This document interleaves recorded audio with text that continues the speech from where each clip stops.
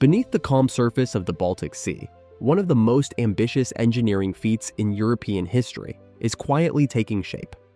Stretching 18 kilometers between Denmark and Germany, the Fehmarnbelt Tunnel will soon become the world's longest immersed tunnel. But this isn't just a marvel of concrete and steel. It's a bold leap toward a more connected, efficient, and sustainable Europe. Imagine driving from Copenhagen to Hamburg in just 2.5 hours, or watching freight trains glide beneath the sea where ferries once ruled. What does it take to build a superhighway under the ocean? And why are two nations investing billions to make it happen? Behind the scenes lies a story of vision, political grit, environmental controversy, and cutting edge innovation. A story that's reshaping the future of European infrastructure. In today's video, we're diving deep into the Fehmarnbelt Tunnel, exploring its origins, engineering breakthroughs, construction progress, and the game-changing impact it's destined to have. Don't forget to click on that subscribe button and like this video as it's the best way to support this channel. The idea of a fixed link across the Fehmarnbelt dates back decades. The belt is a strait in the Baltic Sea, approximately 18 kilometers or 11 miles wide, separating the Danish island of Lolland from the German island of Fehmarn. Historically, the connection between the two countries was maintained by a ferry service operating between Rodby in Denmark and Puttgarden in Germany, a route that has existed since the 1960s. Although relatively efficient, ferry transport has limitations in terms of speed, capacity, and environmental impact. The dream of a fixed link emerged during the late 20th century, spurred by growing economic cooperation between Denmark and Germany as well as the broader European integration process.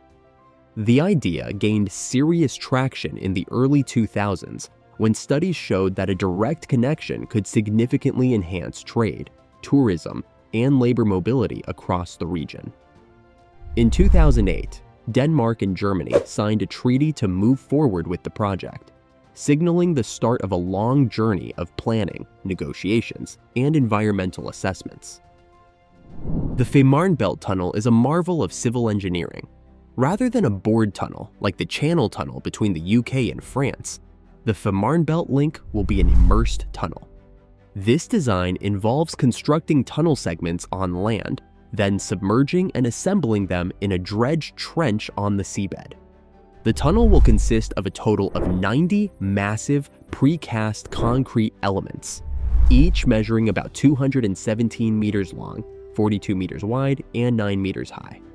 These sections will be fabricated in a specially built production facility. This factory is the world's largest tunnel making facility, and combined with the work harbor covers an area of 220 hectares, the size of over 300 soccer pitches. Three cavernous construction halls containing six production lines are currently working around the clock producing one 217 meter concrete element every nine weeks. Once built, they will be floated out and sunk into a trench dredged in the seabed, then sealed together to form a continuous tunnel. The finished structure will house two double lane motorways and two electrified railway tracks, separated by a central service gallery for maintenance and emergencies. The design ensures that the tunnel can handle both freight and passenger traffic efficiently and safely, with sophisticated ventilation, lighting, drainage, and emergency response systems integrated into the infrastructure. The project is overseen by Femern AS, a subsidiary of the Danish state-owned Sund and Belt Holding. The estimated cost of the tunnel is around 7.1 billion euros or 7.7 billion US dollars, making it one of Europe's most expensive infrastructure endeavors. Denmark is primarily responsible for financing the construction of the Fehmarn Belt Tunnel and secures funding through state-guaranteed loans. Although construction began officially in 2020, actual work on land preparation and dredging started in earnest in 2021, following years of environmental review and legal challenges. The construction process involves several key phases. First, the seabed must be dredged to create a trench deep enough to house the tunnel elements. This requires the removal of millions of cubic meters of material, a task undertaken with giant dredgers and barges. Once the trench is ready, tunnel elements are floated out from the production facility, towed into position, and submerged into place with pinpoint precision using cranes and ballast systems. Each segment is carefully aligned and sealed using rubber gaskets and special waterproofing techniques. Once joined, the interior of the tunnel is fitted out with tracks, roadways, ventilation ducts, and electrical systems. Work is being done simultaneously on both the Danish and German sides to meet the projected completion date around 2029. Building an immersed tunnel across the Fehmarn Belt is fraught with technical difficulties. The harsh marine environment, combined with the scale of the project, poses significant logistical and engineering challenges. One of the most complex aspects is the precise placement and sealing of tunnel elements on the seabed. Any misalignment can result in water ingress or structural instability. Furthermore, the tunnel must be designed to withstand various stresses, including thermal expansion, underwater pressure, seismic activity, and ship impacts. Advanced simulation models, physical testing, and high-strength materials are employed to ensure safety and durability. Another major challenge is the coordination of simultaneous work streams across international borders. Aligning standards, labor practices, and construction schedules between Denmark and Germany requires close cooperation and strong project management. Despite its challenges, the Fehmarnbelt Tunnel is pushing the boundaries of what's possible in tunnel construction. The use of factory-fabricated tunnel segments represents a significant innovation, allowing for higher quality control, faster assembly, and reduced environmental impact compared to traditional boring methods. Digital tools, including building information modeling, are being used extensively to coordinate every aspect of the construction process.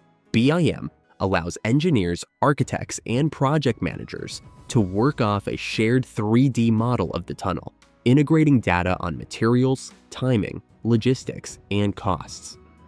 Automation and robotics are also playing a role, particularly in segment fabrication and inspection processes. These technologies not only improve efficiency, but also enhance worker safety by reducing the need for human labor in hazardous environments. The Fehmarnbelt Tunnel is often compared to other large-scale infrastructure projects, such as the Øresund Bridge connecting Denmark and Sweden, and the Channel Tunnel between the UK and France. Each of these projects has transformed regional connectivity, but the Fehmarnbelt Tunnel is unique in both its construction method and environmental context.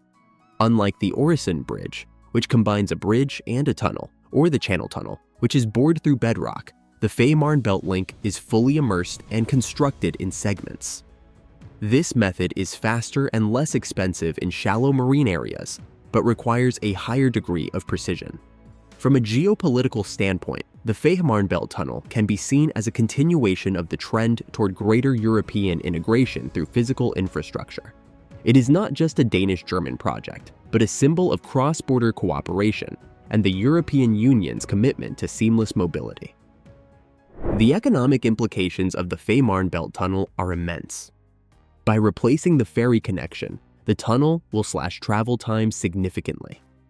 A car trip that once took about 45 minutes by ferry, not including waiting times, will now take roughly 10 minutes through the tunnel.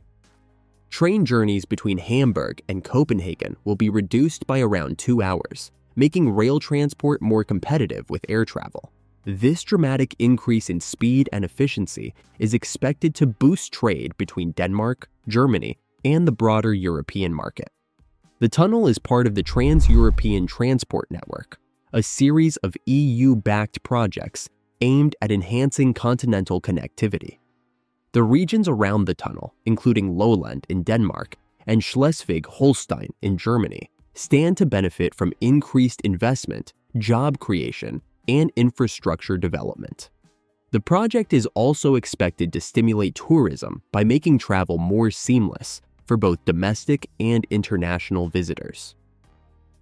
As of now, the Fehmarn Belt Tunnel project has achieved several significant milestones, marking substantial progress toward its anticipated completion in 2029. In February 2025, the first two massive tunnel elements, each weighing approximately 73,500 tons, were successfully floated from the production facility in Rødbyhavn, Denmark, to a lower basin in preparation for immersion. This operation required meticulous planning and coordination among various teams. Meanwhile, the dredging of the tunnel trench has also been completed, resulting in the removal of nearly 15 million cubic meters of soil, stone, and sand. These materials are being repurposed to create approximately 300 hectares of new natural and recreational areas near Rødbyhavn.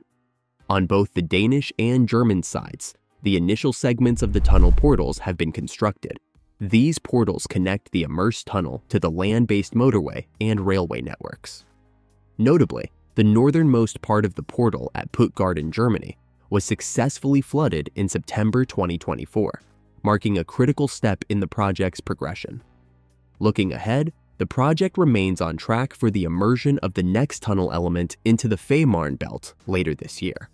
This upcoming phase will represent a pivotal moment in the construction process, bringing the vision of a fixed link between Denmark and Germany closer to reality. When completed, the Fehmarnbelt Tunnel will stand as a historic achievement in civil engineering and international collaboration. Its legacy will extend far beyond the immediate region, shaping transport patterns, economic flows, and environmental policy across Europe. One of the most promising aspects of the tunnel is its role in promoting sustainable transport. By shifting freight and passengers from road and air to rail, the tunnel could help reduce carbon emissions and support the EU's climate goals.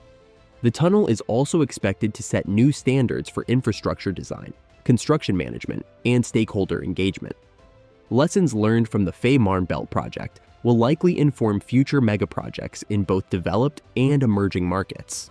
While the road to completion has been fraught with difficulties, the tunnel's promise of faster travel, stronger economies, and greener transport represents a bold step forward in European infrastructure.